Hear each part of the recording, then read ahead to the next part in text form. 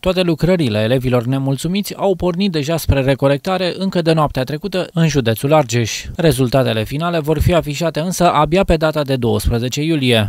Contestațiile s-au depus până ieri la ora 16. Sunt depuse 1575 de contestații, din care la prima probă la română 466, la proba obligatorie, proba a doua 445, iar la proba a treia 507.